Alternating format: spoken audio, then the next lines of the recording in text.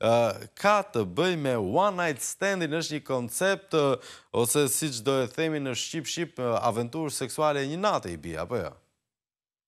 Unë jam si ta qartësojmë këta, unë jam një njeri që gjithmonë jam angazhuar për thyrjen e tabuve. Por thyrja e tabuve është një proces i cili e do kohën e vet edhe i cili duhet të vijë në mënyrë të natyrshme, por Në tabu ne flasim për gjëra të cilat mund të konsiderohen normale edhe që të në kuptimin të pran të pranueshme për atë edhe të shëndetshme deri diku.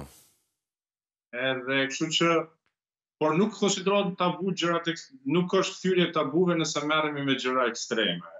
Dhe one night stands për mua është një gjë paksa ekstreme mm -hmm. të të merr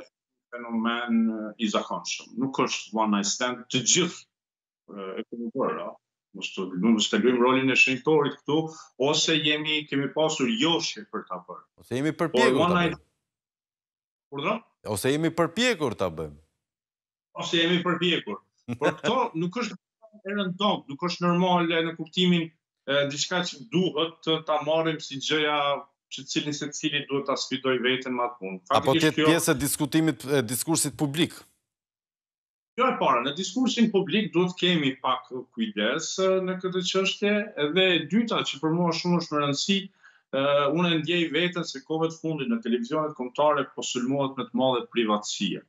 Për shembull, fillojnë diskutimet, njerëzve u intereson jeta private. Po ne në diskutimet tona të përditshme me njëri tjetrin ankohemi në komshitë tanë, të cilët përgjojnë dhe ju interesojnë punët e të tjerëve. Mm -hmm. Si mhm. është e mundur që unë të kem një ndjenjë ndjesi të keqe për komshiun që më përgjon, Mhm. thashethemexhiun e lagjes, dhe njëjtën kohë të pajtohem me faktin nëse një televizion kombëtar, ose televizion rajonal, apo lokal, çfarëdo qoftë, një media, merret me thashetheme në mënyrë të institucionalizuar. E kuptaj. Thashethemet, dukuri e shpifur, një dukuri jo e mirë, mm -hmm. dhe privatësia duhet të mbrohet. Askujt nuk i askush nuk ka të drejtë në emër të çfarëdo të dojë, që të ndërhyjë në privatësi. Ky është një debat që kanë bërë dhe gazetarët e showbizit me yjet e showbizit, të cilëve u është cënuar dhe sulmuar dhe kuriozuar mbi jetën e tyre private përgjithësisht.